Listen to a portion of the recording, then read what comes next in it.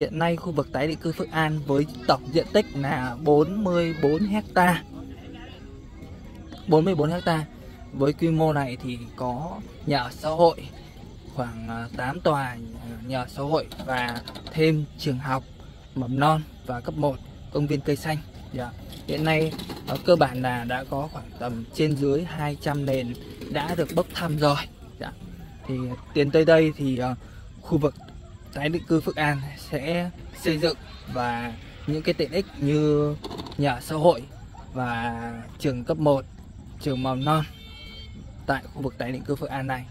Thì anh chị cũng có thể thấy này rất là nhiều những cái xe điện đang được những uh, bé thiếu nhi tập trung ở đây để vui chơi và bên uh, cạnh quý anh chị bên tay trái bên tay phải này gần với trục đường Nguyễn Văn Cừ rất là nhiều hàng quán như quán nước quán kem rồi các mặt hàng quán nhậu tập trung ở đây.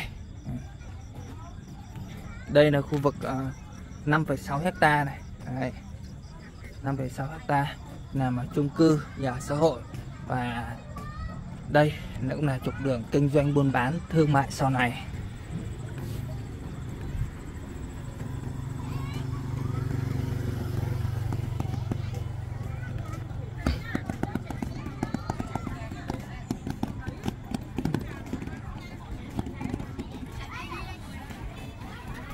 Hôm nay chỉ là ngày thường thôi Và khu vui chơi này khá là đông.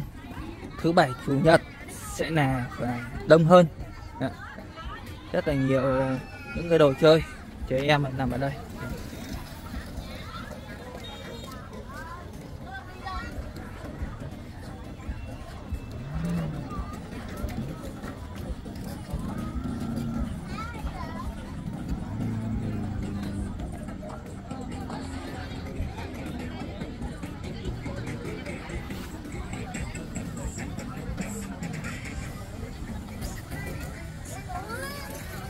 Khu vực này là khu vực đang cho thuê ờ, những cái xe điện nhỏ nhỏ này. Đấy, mà anh chị và em Tuấn đang xem là các ờ, bé nhỏ đang ờ, đi xe điện đấy ạ. Còn hai bên là khu vực nhậu và khu vui chơi của trẻ em. Những cái loại bánh những cái loại nước như sinh tố rồi các loại kem đều bán ở đây, đây. chả mực này mực nướng này bạch tuộc nướng này. Còn bên này là nhậu. Bên tay phải là nhậu.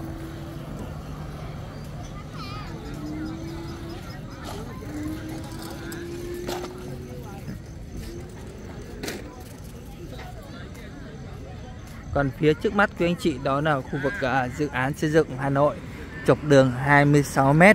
Đây cũng là khu vực nút giao Bùng Binh giữa trục đường Nguyễn Văn Cừ nối dài lên cao tốc Long Thành Dầu Dây và khu vực hướng về khu vực quận 9 quận 2 của thành phố Hồ Chí Minh.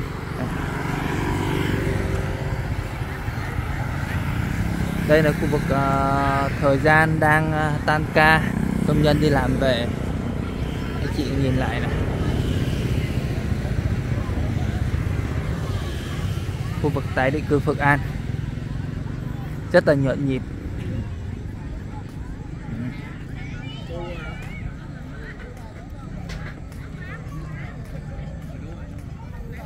Với cái mức giá của khu vực tái định cư Phước An thì à, đang dao động khoảng từ à, trên dưới 800 triệu đến hơn 1 tỷ trên một nền.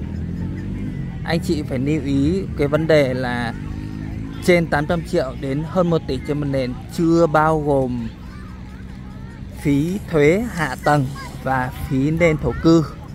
À, một lô đất thì trung bình anh chị phải cộng thêm là ví dụ như lô đất 800 triệu 900 triệu phải cộng thêm cái phí lên hạ tầng phí lên thổ cư khoảng uh, trung bình 600 triệu nữa trung bình 600 triệu nữa.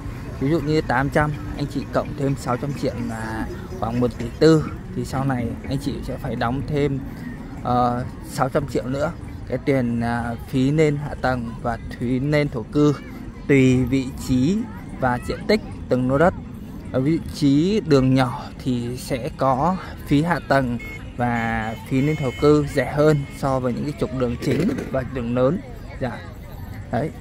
Còn hiện nay à, giữa người dân bán với nhau thì đang dao động khoảng à, trên dưới 800 triệu đến ờ, hơn 1 tỷ trên một nền tại khu vực tái định cư Phước An với diện tích là 100 mét vuông.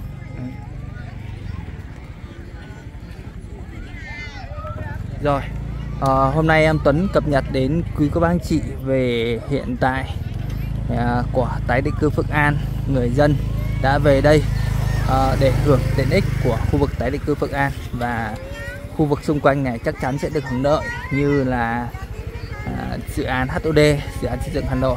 Rất là cảm ơn quý cô bác anh chị luôn theo dõi đồng hành cùng kênh. Xin chào và hẹn gặp lại cô bác anh chị ở những video sau nhé.